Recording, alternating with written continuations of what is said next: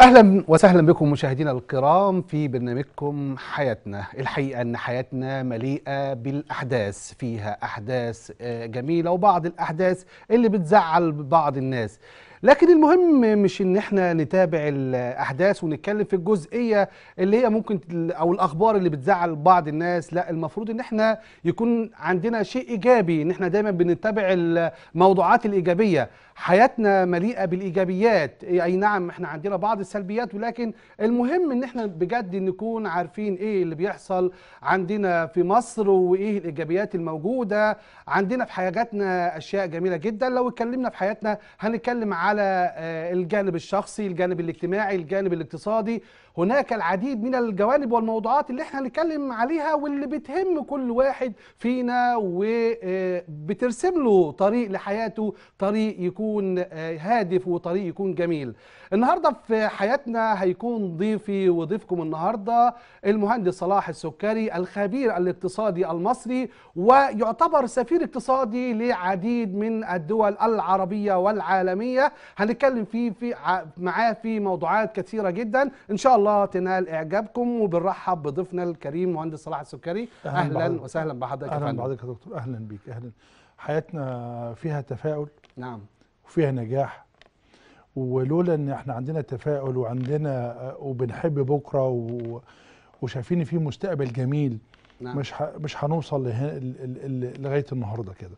إحنا عندنا تفاؤل جميل جدا. يعني لو حضرتك بالمناسبة النهارده سيادة الرئيس عبد الفتاح السيسي بافتتاح مشاريع عملاقة مشاريع ضخمة. نعم. عندنا النهارده في اسكندرية مشروع زي مشروع آه، آه، المحمودية ترعه المحمودية اللي كانت كلها آه، مشاكل كتيرة جدا. كانت لما كمية من العشوائيات ترعه مليئة بالقمامة والبكتيريا والذباب والع... تشوف حضرتك لما تمشي تمشي عليها دلوقتي إحنا إحنا ماشيين في دولة أوروبية. نعم. وبالمناسبة النهارده كمان كلم آه، محافظ البحيره قال لا ده أنا هم- همد قناة المحمودية النهارده لمسافة 50 كيلومتر لغاية آه، آه، محافظة البحيرة وقال له إحنا معاك. فيعني حضرتك ده المستقبل ده النجاح ده التفاؤل. لما حضرتك بتمشي في اسكندرية النهارده تروح بيتك على طول المسافة دي بتاعت اسكندرية في 10 دقائق ربع ساعة بتحس بالرخاء بتحس بالجمال. بتحس بالمستقبل ال- الباهر للدولة للدولة بتاعتنا. لما تشوف حضرتك عكس ما كانوا بينشدوه أعضاء الوطن بتوعنا إن الجوامع اتهدت. نعم. جوامع الجيش بيهد الجوامع علشان يقلبوا المواطنين المصريين على ال ال الخير بيلعبوا بمشاعر المصريين. بالمشاعر المصريين لأن هم عارفين بيلعبوا طيبه المصريين لأن هم عارفين إن المصريين نعم. آه، بيحبوا وطنهم وبيحبوا دينهم فبيحاولوا يقلبوا مم. الناس اللي هم الغلابة يقولوا بص الجوامع تعال اتفرج النهارده الجوامع اللي اتبنت على ترعه المحمودية مم. مش في بالجمال المحمودية بس يا صلاح بيه في كل في كل حتة. حتة في مصر في كل حتة لا إحنا بنتكلم على ترعه المحمودية آه، آه. بالذات إن كان عليها كمية من الجوامع نعم اتفرج بقى على التنسيق الجمالي للجوامع اللي اتبنت فيها والكنايس اللي اتبنت الكنايس اتهدت اتبنت. نعم. الجوامع اللي ات- اتهدت اتبنت بقى بتنسيق جمالي بفكر آه، حضاري بالتكييف بتكييفات. عندنا جامع اتبنى آه، جامع الفريق عبد المنعم رياض من أكبر الجوامع دي في مدخل اسكندرية. فاحنا النهارده لا عندنا اعاقه حركة مرور لا عندنا قمامة في الشوارع. عندنا طرق طرق ممهدة عند يعني يعني آه، آه، النهارده الدولة المصرية باصة لجميع النواحي بتاعة حياتنا حتى الإعلام. لما نيجي نتكلم النهارده حتى الإعلام باصص برضو لحياتنا. لما نيجي النهارده مسلسل زي مسلسل الاختيار نعم. اللي, طبعا كان دي أثر في كتير من المصريين أثر بشكل. كبير جدا وصل رسائل متعددة. آه ل- ف- للوطنية والانتماء وحب الوطن والدفاع عن مقدرات الوطن. لا وكان وجه يعني- في وقت وجه في وقت كان جميل جدا. وقت كورونا والناس قاعدة في وقت كتير. كانت الناس قاعدة في البيت. آه. فإحنا قاعدين بقى منتظرين مسلسل الاختيار وبنشوف الملحمة الجميلة اللي بينشدها الجيش المصري. يعني مع كل المرارة اللي فيها لكن كنا بنشوف في نجاح قدام المرارة دي بالانتصارات اللي بيحققها الجيش المصري على الإرهاب داخل سيناء. نعم. وبنوري للعالم كله يعني إحنا كمان بنغير الصورة. طبعا. آه للدول رسالة بنوجهها للعالم كله من خلال آه، متابعتنا لهذه الأحداث بالظبط لطرق آه، فكان تنمية. طيب يعني حضرتك كلمتني على زيارة فخامة الرئيس عبد الفتاح السيسي وبالحقيقة إن إحنا متابعين من فترة كبيرة جدا كم هائل من المشروعات اللي موجودة خاصة بالتنمية والنقل والأراضي موضوع المليون ونص فدان وبسم الله ما شاء الله حاجة جميلة جدا وحاجة مفرحة جدا. كلمني النهارده عن زيارة فخامة الرئيس عبد الفتاح السيسي لمحافظة الاسكندريه شعورك كمواطن إسكندري النهارده وشعور ال ال ال ال الشعب ال- الإسكندراني النهارده بوجود فخامه الرئيس بالإسكندرية. الشعب الإسكندراني كان في الأول قبل آه، آه، آه، الرئيس عبد الفتاح السيسي كان بيحاول أنا أهرب من إسكندرية إزاي. أنا عايز أهرب من إسكندرية. مم. إسكندرية مزدحمة. إسكندرية ما فيش أماكن نروحها.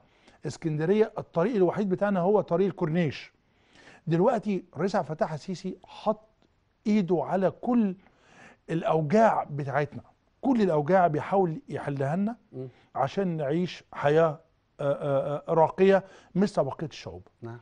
لو حضرتك بصيت على بشاير الخير اللي اتبنت حاليا. حاجة كانت من أراضي كانت فيها قمامة وزبالة إلى إلى عمارات شاهقة إلى عمارات نظيفة إلى بيئة صالحة للإسكان. دي حاجة مختلفة خالص. البحيرات اللي وحضرتك وانت داخل داخل مدينة اسكندرية كانت في بحيرات على اليمين وعلى الشمال كان كل واحد عنده قمامة يروح يرميها في البحيرات دي وتبقى مقلب للزبالة. تعليمات فخامه الرئيس عبد الفتاح السيسي بتنظيف هذه البحيرات وجعلها منطقة صالحة للاستزراع السمكي يعني للزراعة الله. السمكية ما عمل فيها أحواض سمكية ونستثمر يبقى بدل استثمار. بدل ما هي مناطق تبقى مضرة للبلد بنقدر نستغلها بنستغلها في. الاستثمار حضرتك كنا وإحنا رايحين جايين نلاقي الناس بتعرض علينا اسماك كنا نخاف ناكلها ناكل منها الاسماك دي كانت مضرة بسبب القمامة بتتغذى على القمامة. دلوقتي فخامة الرئيس تعليماته إن الحاجات دي مش تتنظف لا اتنضفت خلاص. نعم. مفيش قمامة فيها. مم. واتنضفت واتشالت منها ورد ال- الورد. بيت إحنا في في في محافظة الكل حاليا بيتهافت إن يجي يعيش فيها. لما نيجي نشوف ترعه المحمودية زمان وترعه المحمودية مفيش ترعه المحمودية دلوقتي. بقت آه، آه، ما تردمتش بحر ال- آه، ترعه المحمودية. ترعه المحمودية انتقلت إلى أنابيب. بقت المية ماشية في انابيب مغطاه. يعني إحنا مش ده- ده- ردمنا البحيرة وراحت. لحضرتك يا باشمهندس صلاح إن الموضوع ده مش على طلعة المحمودية بس ده كل يعني تقدر تقول إن أكتر من 80 أو 90% من الترع اللي موجودة في محافظات مصر وقرى مصر ونجوع مصر تم تنفيذ هذا ال- هذا. عملها بخطوط بس أنابيب. بس الإسكندرانية كانوا بيعيشوا ألم بسبب الازدحام. نعم. آه، وخاصة في الصيف لأن كانت كل المحافظات بتيجي اسكندرية علشان اسكندرية هي. دولة آه، هي محافظة آه، ساحلية. شاطئية، ساحليه فالناس اتعودت ان هو يروحوا اسكندرية يصيفوا في محافظة الاسكندرية. فكان بيعيشوا مرارة الازدحام المروري. دلوقتي اتفرج على سلاسة المرور في محافظة الاسكندرية. جمال الاسكندرية دلوقتي يعني بقت بالفعل هي عروس البحر الأبيض المتوسط برعاية فخامة الرئيس عبد الفتاح السيسي. رسالة عايزين نوجهها للناس ال- اللي دايما بت- بتشكك في الإنجازات. الن- الناس مش حاسة. الناس دي أو الفئة من الناس دي هم حاطين في اعتقاد إن هم مش حاسين بالإنجازات دي.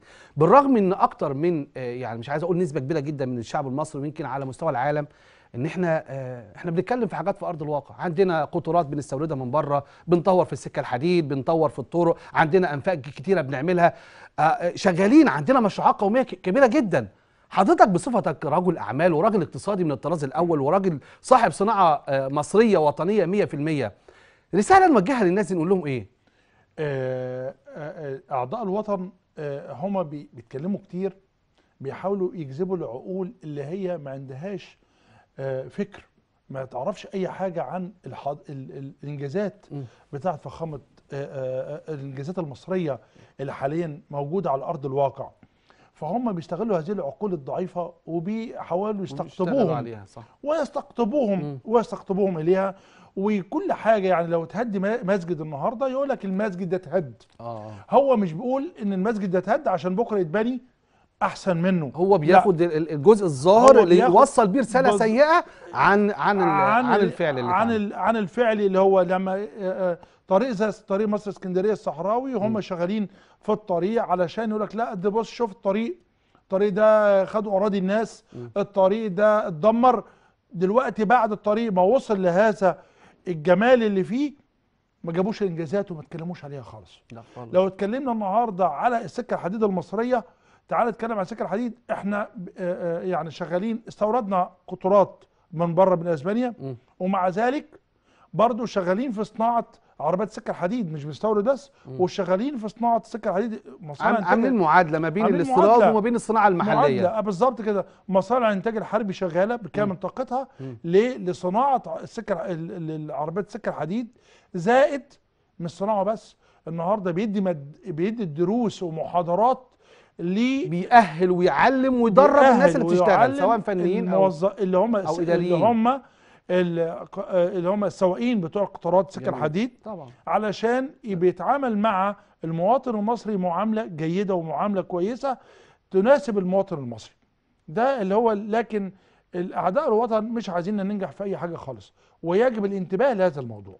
طيب إحنا عندنا في في مصر آه، بصراحة بنتعامل مع بعض القضايا الشائكة و- وتعدي بعض الأشخاص من الدول العربية سواء كانوا صحفيين أو مواطنين عاديين على بعض الدول العربية عن طريق السوشيال ميديا مواقع التواصل الاجتماعي بصفة عامة. آه، أنا كإعلامي النهارده لما باجي أتكلم مع الناس دي بقول وجهة نظري إن أنا لما أحارب أوجه رسالة للناس دي أو إن أحاربها أحاربها بالفكر بتاعي طبعا، مش إن أنا طبعا. أرد بنفس الأسلوب على هذا الصحفي أو هذه الإعلامية أو هذا الشخص اللي تطاول على مصر أو تطاول على أي دولة عربية أخرى وجهة نظر حضرتك في هذا العداء أو هذا السلوك الشين وهذا السلوك السيء من بعض هذه من, من هذه الأشخاص وازاي ان إحنا بجد نرد عليهم كاعلاميين وكوطنيين زي حضرتك؟ هو حضرتك آه، في مثل عندنا بيقول لك لا ترجم إلا الشجرة آه، الطارحة. نعم. والناس دي لولا شايفيننا إحنا في قمة وإن إحنا آه، كل يوم بنرتقي وكل يوم المستقبل بتاعنا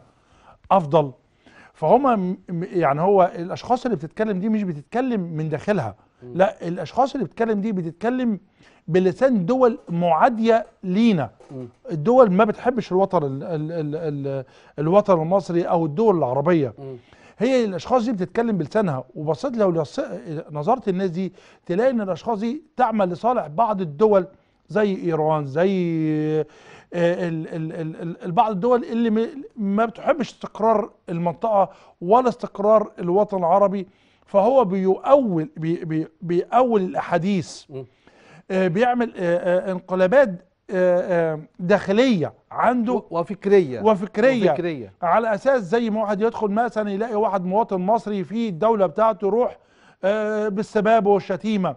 علشان الش- الشعب المصري يبدأ يرد بنفس يرد. بنفس- بنفس هو ده هو. ده اللي أنا أقصده هو. ده اللي بيتكلم عليه هو ده الأصول المفروض إن إحنا كإعلاميين أو جهات آه، مؤسسات رسمية موجودة في الدولة أو مثقفين أو حتى رجال أعمال بيمثل مصر في كثير والعديد من الدول العربية إن إحنا نرد بأدب ونطالب بأخذ حقوقنا وحقوق المصريين من هؤلاء الأشخاص السلبيين بشكل آه، الإعلام. إيجابي. الإعلام المصري الإعلام المصري أو ال- السياسيين بيردوا بشكل إيجابي. وبشكل كويس جدا هو اللي حضرتك ما تقدرش تمسكه المواطن المصري المواطن المصري بيرد بمشاعره لما بيجي النهارده يشوف حد بيتكلم مع مواطن مصري بره بصورة غير لائقة. هو بيرد بمشاعره مش ب... ب... يعني إيه برد فعل عشوائي هو كده. لا فهو هيعمل. باشمهندس صلاح آه. أنا بتكلم كمان على ال- الإعلام. هناك بعض المنصات الإعلامية اللي بتواجه الفكر الهدام بفكر سيء ده ده آخر. ده هو ده اللي أمر- بتكلم فيه. ده أمر غير, غير أمر غير مقبول. أمر غير مقبول وأمر ما ينفعش معانا خالص. يعني حضرتك دلوقتي النهارده جاي أنت بتتكلم في آه، رسالة آه، أو موضوع بتعادي فيه بلدي وأنا راجل مواطن وراجل بحب بلدي. أنا هقنعك كاعلامي إن إن فكرك غلط وإن كلامك مش بالظبط مظبوط كده بالظبط كده بس آه. هقنعك بالأطروحات وال- والكلام والأدلة المقنع والأدلة والأدلة والبراهين بتاعتنا صح وإن إن- إحنا بلدنا كويسة بالظبط كده. وفي تقدم وفي فكر وفي إنجازات ده وهكذا ده المفروض صح ده؟ المفروض هو هو ينفع مثلا لما نمسك إرهابي مثلا في سينا. بينتمي دولة معادية نروح نضرب ال- آه، بي- نروح نضرب الدولة اللي هو جاي منها. ما ينفعش الكلام ده. ينفعش ما طبعاً. ينفع هو نفس الكلام. مم. يعني لما الاقي مثلا إرهابي جاي من دولة أي دولة من الدول وبيحمل جنسية أجنبية أروح أضرب الدولة دي؟ مش هضربها. أنا بتكلم يبقى أنا بعامل الفكر مش بنفس الطريقة. يعني هو جاي عاديني داخل ده بس أنا ما بعملوش بهذه الطريقة. لازم أنا بوجه رسالة للدول ول- وللفكر المعادي ده نعم إن إحنا الدولة لينا ثقافة ولينا حضارة ولينا آه، آه، آه، يعني أسلوب راقي في التعامل بالظبط مش دولة همجية زي الدول الهمجية اللي هي بتتعامل بهذا الأسلوب إحنا مش كده. الشعب المصري والدولة المصرية طول عمرها صاحبة حضارة. صاحبة ثقافة. صاحبة فكر الدولة المصرية وخاصة إحنا عندنا كمان ده الأزهر بتاعنا الله منا- مرا يعني, آه. آه يعني مكان حتى هو- يعني إحنا لسه من فترة قريبة جدا كان فضيلة الإمام الأكبر شيخ الأزهر بيزور بعض الدول وهناك ترحيب وافتخار بمشيخة الأزهر وبشيخ الأزهر وبالإمام وبمصر بشكل إحنا كلنا كمصريين لازم نفخر بيه البعثات البعثات اللي بتخرج من أزهر مم. قول لي الدول الع... الدول اللي جنبينا فين البعثات بتاعتها اللي بتخرج للدول الأجنبية عشان آه تقول لها الإسلام والتعاليم الإسلام والسلام والمحبة وكل ده ده كله ده اللي بينشده الأزهر اللي طالع من مصر مش طبعاً. طالع من أي حد طبعاً. مش طالع من حتة تانية فإحنا بنقول للناس برضو تتعامل مع آه يعني تتعامل مع الفكر. بفكر مش بتتعامل مع بهمجية وأسلوب غير مقبول طيب اتكلمنا على بعض الجوانب. عايزين ناخد الجانب بقى النهارده. إحنا بنتكلم في حياتنا وحياتنا آه، بيسودها بعض المواقف والسلوك المتغيرة عند بعض الأفراد. وبنتكلم على منظور الأخلاقي لدى المجتمع ولدى المواطن المصري. آه، كيف ترى المواطن المصري في ظل آه، يعني الأحداث الكثيرة جدا اللي بتحدث في الشارع والتطور الرهيب في التكنولوجيا ووسائل التواصل الاجتماعي وتعا- وتعامل بعض الأفراد مع هذه الوسائل بطريقة خاطئة. نصيحتك نقول للشباب دول إيه؟ إيه هو في بعض الناس بتدخل بتنشر أفكار هدامة. للشباب المصري. فلازم على فيسبوك وعلى مواقع التواصل الاجتماعي دي كلها رقابة. فيجب إن في رقابة على نعم. هذه. والناس اللي يعني بتبث هذه السموم للشباب المصري. هي قصدها هدم الشباب المصري وبالتالي لما تهدم الشباب المصري بتهدم مستقبل مصر. فدي في حضرتك آه، مجموعات موجودة في بعض الدول ورصدتها بعض ورصدتها الأجهزة عندنا إن في ناس قاعدة علشان ترسل لنا أفكار هدامة للشباب. نعم. ولذلك لما أتكلم أي شاب آه تلاقي هو آه ما عندوش يعني عنده ملل وعنده زهق وعنده ليه؟ بسبب النهارده طول النهار ماسك الفيسبوك وقاعد إيه؟ وقاعد يت- يتصحف فيه. مم. هو مش نازل يشتغل. عارف هو حضرتك لو مارس الرياضة لو نزل يشتغل لو آه قاعد يقرأ آه حي يبعد بس عن يغير من السلوكيات السلوكيات بتاعته فحي هيشوف الحياة بتاعته حياة جميلة. طبعا. فالحياه بتاعتنا مليئة بإيجابيات بإيجابيات آه، كثيرة. لكن لما آه، آه، نشوف الطريق الصحيح لهذه الإيجابيات وهو إيه يحاول يسلكها. وفي شباب كتير وده دور الإعلام ليه جزء كبير ده بتوجيه الشباب ده, دول؟ ده, ده شيء طبيعي يعني ده يعني شيء طبيعي يعني ده توجيه الشباب دول آه. في الحاجات الإيجابية. ودايما إحنا بنطلع نتكلم لما بنقول ان في إنجازات وفي إيجابيات موجودة في آه، تطور في تنمية في في إحنا ما بنطلعش نقول الكلام ده وخلاص. إحنا ما بنطلعش نقول اي معلومة إلا آه، إن إحنا تطلعنا وعملنا سيرش عن هذه المعلومة وتأكدنا وتابعنا ورصدنا بالظبط فأنا المفروض. إن أنا أنت لو بتثق في هذا الإعلامي وب- وبيقول هذا الكلام ابحث أنت كمان كشاب النهارده بدل ما أنت بتستخدم التكنولوجيا بشكل خاطئ وبتضيع عليها أوقات فراغ كتير جدا وما تستفادش منها حاجة ابحث ورا المعلومات اللي بتهمك واللي بتهم مجتمعك واللي بتهم بلدك هو ده اللي إحنا عايزين نوصله الدول يعني. الآسيوية مم. مستخدمه التكنولوجيا. في الاستثمار تمام؟ يعني تلاقي الشاب النهارده ماسك ال- التليفون بتاعه ده التليفون بتاعه ده عامله على إنه هو آه، مشروع. صح. بيرسل لاصحابه بيرسل للمجموعات اللي عليه بيرسل لهم المنتجات ال- اللي عنده المشاريع اللي عنده بيعملوا استثمار دي الدول اللي هي دول جنوب شرق آسيا اللي هي الصين تايلاند الكلام ده بيعمل هذا الموضوع.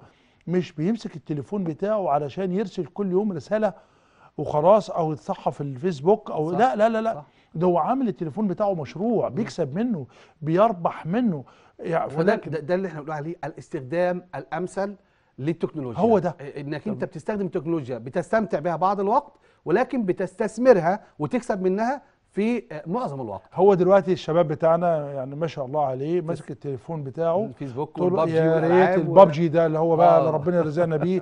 24 ساعة ماسك البابجي ده آه. طول النهار شغال فيه وعينه مبحلقه ونظره يضعف ونظره يضعف ويروح للدكتور وأبوه يصرف عليه بسبب لعبه اللعبة دي. ده مش كده بس الصلاحيه إحنا كمان بنتكلم على موضوع إن آه، التكنولوجيا واستخدامها الخاطئ والفترات طويلة جدا بيتسبب في نوع من آه، عمل فجوة ما بين الأسرة. ما بين بين آه، هو النهارده بتدخل البيت النهارده بتلاقي ال- آه، رب الأسرة وزوجته كل واحد كل واحد ماسك التليفون كل واحد ماسك. الموبايل وشغال. وشغال عليه بقى بيلعب بابجي. واللي بيلعب آه، واللي آه، يعني آه، استخدام آه، خاطئ آه، جدا. مشكلة. لا ده أنا ده أنا شفت حاجة تانية بقى. ده هو قاعد في أوضة وأخوه قاعد في أوضة تاني وعمالين بيلعبوا مع بعض وقاعدين للساعة 3 4 الفجر.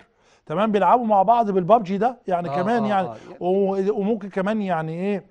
آه يعني طب روح ام يعني ام صلي اعمل أي مفيش مفيش مفيش لأن ال- فهو طبعاً طلع خلاص مستمتع باللعب مستمتع باللعب ده وخلاص ده هي دي المشكلة الكبيرة في إحنا. برضو بنقول إن إحنا آه، كدورنا وإن إحنا دايما بنوعي الناس بالاستخدام الأمثل للتكنولوجيا ووسائل التواصل الاجتماعي لأن بجد آه، ال social media لها أثر كبير جدا في تغيير سلوك الأفراد لو أنا النهارده أطلقت الموضوع آه، على العام وسبت المجتمع يستخدم هذه التكنولوجيا بطرق غير صحيحة النتائج هتكون سلبية جدا بالظبط. وبالتالي هتأثر على المجتمع وهتأثر على الوطن ومقدرات الوطن. بالظبط بالظبط. آه، أيوة، فرسائل دي- قوية جدا. آه، آه، ال ال آه، برضو هرجع برضو نقطة مهمة جدا. نعم. إن ال- القوات المسلحة عملت مدارس اطفال النهاردة علشان تعلم الشاب الطفل. نعم. يعني هو من ستة ابتدائي تقريبا أو حاجة كده بياخدوا علشان يعلموا المسؤولية مم. عشان يطلع راجل صالح للدولة. غير بقى المواطنين عندنا النهارده إن هو بيدللوا ويدلعوا في الطفل بتاعهم. فالمواطن لما بيتحمل آه، المسؤولية بيعود على الطفل برضه بتاعه إن هو بيبقى ولد صالح بيتحمل المسؤولية عن آه، آه، والديه. نعم. فاللي إحنا بندعوه ندعوه دلوقتي إن ال- الشباب بتاعنا يبقى شباب واعي شباب مثقف مش يضيع الوقت بتاعه هباء ميسورا لازم الوقت بتاعه يعرف إن الوقت بتاعه ده وقت استثماري. شوف هيستثمره في حاجة تعود عليه بالنفع وتعود على الوطن بتاعه بالنفع. بالظبط. طيب اتكلمنا عن الشباب واتكلمنا على بعض سلوكيات الأفراد في المجتمع واتكلمنا كمان عن التنمية. عايزين نتكلم بقى بصفة حضرتك سفير اقتصادي لبعض الصناعات الوطنية المصرية 100% واللي لها تواجد بشكل كبير جدا يمكن في العديد من دول العالم. يمكن عندنا استثمارات في الصين وفي أمريكا الجنوبية و... و... والإمارات ودول المغرب العربي حاجة مشرفة جدا ل... لأي مصري. آه كلمنا عن آه تعامل الدو هذه الدول سواء كانت الأجنبية أو العربية وفكرهم عن المصريين وعن شعب مصر.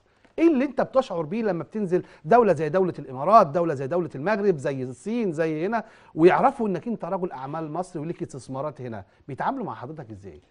آه، دولة زي دولة الإمارات العربية بيعتبروا المصريين دول أشقاء نعم. ليها وبي يعني التعامل بتاعهم وبيحبوا بيحبوا الفكر المصري لأن الفكر المصري دايما متطور. عندهم. وبيذللهم كل الصعاب. بيحبوا المنتجات المصرية لأن المنتجات المصرية دلوقتي عليها رقابة. وخاصة جهاز حماية المستهلك عليه رقابة على المنتجات المصرية وفي تطور رهيب دلوقتي في المنتجات المصرية. وخاصة الأدوية المصرية. الأدوية المصرية النهارده كفاءة عالية تنافس ال ال منها نظيرها الأمريكي والأوروبي. يعني آه، بعض الدكاترة أنا قابلت بعض الدكاترة المصريين خارج مصر قال لي إن ال- الأدوية اللي عندنا في مصر مش موجودة في بعض الدول الأمريكية أو الدول الأوروبية بالكم ده وبالكفاءة دي بجد. برضو بعض الدول العربية خاصة غير الدول غير دولة الإمارات العربية المتحدة بعض الدول العربية أنا لاحظت برضو كمجال أدوية إن هم ما عندهمش الإمكانيات اللي عندنا الإمكانيات المصرية في الأدوية الطبية. مم. لذلك إن هم بيحبوا الأدوية المصرية وخاصة يعني لما زرت بعض الدول مش عايز أقول الدول عشان ما نبقاش إن إحنا نقول آه، إن في مشاكل عندها في الأدوية بتاعتها. بالظبط. آه، أنا لما زرت بعض الدول العربية آه, آه فلقيت إن الناس اللي هم ال- المواطنين اللي فيها بيشكوا من ال- الدواء اللي فيها بيقول إحنا الدواء بتاعتنا دواء غير كفء. يعني زي يعني مش بي مش بيشكو من قلته ده هو بيشكي كمان من المادة الفعالة المادة الفعالة فيه بتاعته. آه. بيقول لك إن ده المادة الفعالة بتاعت الدواء المصري آه. غير الدواء اللي عندي خالص. آه. الدواء اللي عندي مختلف تماما عن الدواء المصري. يعني أنا عشان أوصل للدواء المصري إذا كنت باخد حباية من الدواء المصري فأنا عايز الدواء بتاع بلدي ده عايز- عايز 10 أربعة. 10 آه، عايز 10 عشرة. حبايات آه. عشان يبقى اوصل للكفاءة. آه وبالتالي بيبقى فيه سعر عالي على المستهلك ده و- زائد ده آه. كمان مش كده ده هو أساسا السعر كمان عنده عالي. ده يعني هو المنتج بتاعه. فعاليته قليلة؟ فعاليته ليه وسعر عالي على الدواء المصري. عالي. نعم. تمام؟ شوف ال... شوف الايه شوف شتان شتان الفرق. فالدولة المصرية بتنتج دواء. آه، أدوية في منتهى الجمال ذات فاعلية. ذات سعر رخيص. فدي حاجة جميلة جدا. يعني بتشوف من المنتجات المصرية وصنع في مصر بتشوف آه، احترام الناس ليك في الدول اللي انت بتزورها سواء أجنبية أو دول عربية. فيقول لك ده المنتج ده مصري. منتج محترم. معنى منتج محترم يبقى الشعب ده محترم. نعم. هو ده اللي بتشعر بيه في الدول اللي إحنا اللي إحنا بنزورها. زائد النهارده إحنا دخلنا صناعات كبيرة. في مصر. صناعة السيارات داخلة بثقل يعني آه، آه، تحويل برضو السيارات من من من من استخدام ال- الديزل والبنزين من لغاز طبيعي لغاز طبيعي آه ده موضوع على جميل جدا آه فدي يعني حاجة علشان يعمل طفرة آه. بيعمل طفرة وبيوفر لي فلوس كتيرة في المنتجات اللي بتتحمل على ال- على على المنتج التام هو طبعا يمكن موضوع يعني التحويل لاستخدام السيارات من سولار أو بنزين إلى غاز طبيعي ده موضوع شيق جدا إن شاء الله نتكلم فيه في حضرات آه، أو في حلقات قادمة إن شاء الله. إحنا طبعا بنشكر حضرتك يا باشمهندس صلاح آه، على تواجدك معانا في هذه الحلقة اللي بنتكلم فيها على بعض الأحداث اللي بتمر بحياة المواطن المصري واللي إحنا بنشهد بالإنجازات والإيجابيات الموجودة في المجتمع. شرفتنا ونورتنا. شكرا دكتور بقناة. صحة وجمال قناة الشعب. آه، شكرا دكتور. آه، مهندس صلاح السكري رئيس مجلس إدارة شركة إكس موبل والخبير الاقتصادي بنشكر حضرتك على تواجدك معنا. شكرا يا دكتور شكرا. وبنشكر حضراتكم آه، أعزائي المشاهدين على متابعتكم لبرنامج حياتنا وإن شاء الله بإذن الله القادم أفضل في كل موقف من مواقف حياتنا وإحنا آه، مع مصر مع الوطن مع كل مؤسسات الدولة. في كل ما يفيد وكل ما آه، ينفع المواطن المصري في كل مكان. تابعونا في برنامج حياتنا على الصحة والجمال. نشكركم على حسن المتابعة والسلام عليكم ورحمة الله وبركاته.